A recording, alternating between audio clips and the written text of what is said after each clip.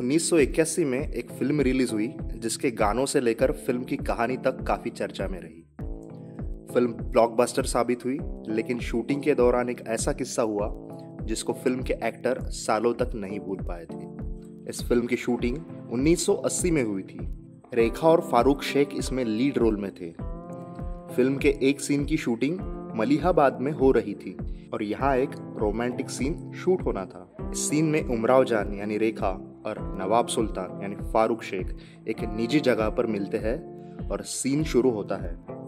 ये बात आसपास के इलाके में इतनी फैल गई थी कि मलियाबाद में शूटिंग चल रही है और रेखा भी आई हुई है। यहाँ तक तो ठीक था, लेकिन जैसे ही लोगों को पता चला कि रेखा एक रोमांटिक सीन शूट करने वाली है तो शूटिंग देखने के लिए लोग बेकाबू हो गए थे। लोग उस सीन को हर हाल में देखना चाहते थे।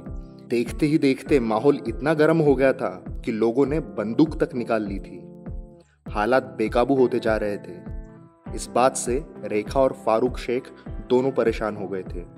साथ में मेकर्स के भी हाथ पैर फूलने लगे थे। हालाँकि जैसे तैसे उस सीन को शूट किया गया था।